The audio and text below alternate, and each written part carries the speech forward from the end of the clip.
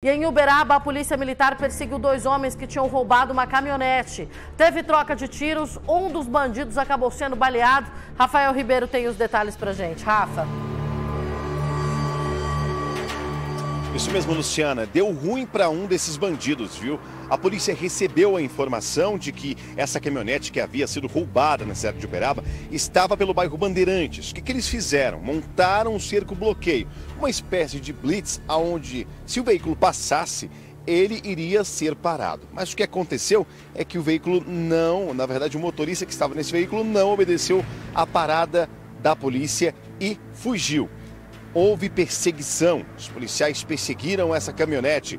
Houve troca de tiros. Durante essa troca de tiros, esses criminosos só pararam porque um dos homens foi atingido no braço. O que, que eles fizeram? Foram presos. E aí a polícia utilizou uma espécie de torniquete no braço para que o homem não perdesse tanto sangue, até porque já estava perdendo tanto sangue ali no chão. E aí a, o socorro foi chamado para conduzi-lo até o hospital.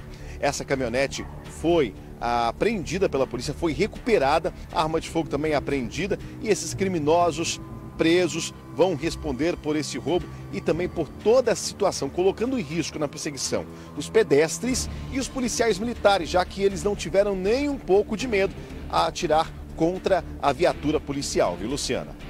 É porque é dessa, né? Bandido acha que vai abrir fogo contra a polícia e que vai receber buquê de flor de volta. Toma vergonha, toma atento. Atirou contra a polícia, o revide vem à altura. E aí, meu amor, polícia de Minas Gerais não tá pra brincadeira, não. O negócio aqui é doido. O negócio aqui é pra bandido temer mesmo.